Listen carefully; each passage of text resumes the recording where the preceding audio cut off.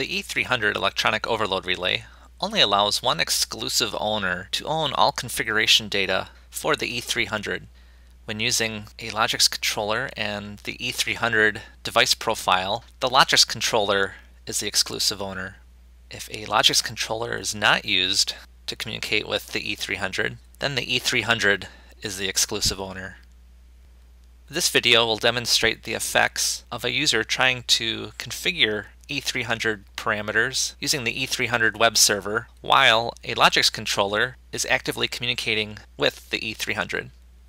The Logix controller's device profile shows that the trip class should be set at 10, the full load current should be set at 1.00 amps, and the motor type is single phase.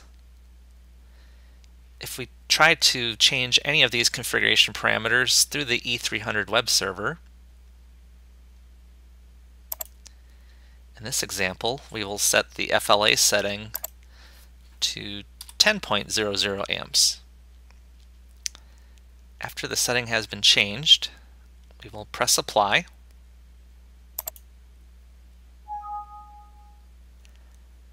The following error message will show up.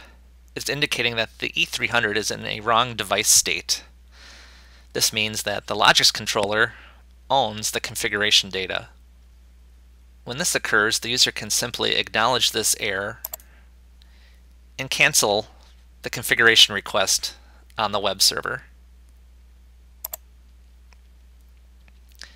If a user would like to change the FLA setting, he must do so through the E300 device profile.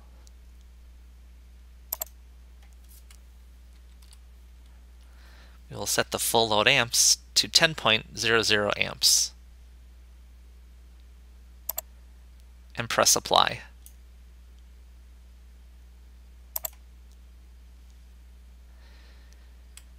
Hitting yes will apply these configuration values to the E300 electronic overload relay.